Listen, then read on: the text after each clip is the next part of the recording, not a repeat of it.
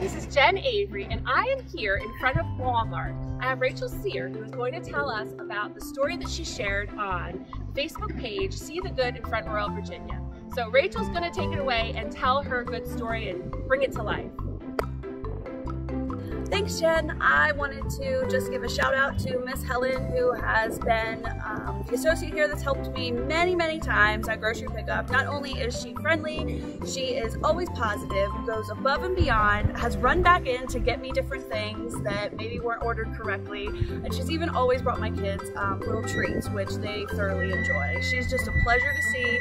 Um, I shared it on Facebook, and I just wanted to share a positive story. There's so much negative negativity in the world lately that, you know, anything positive is always a plus. So thanks, Jen, for letting me share my story.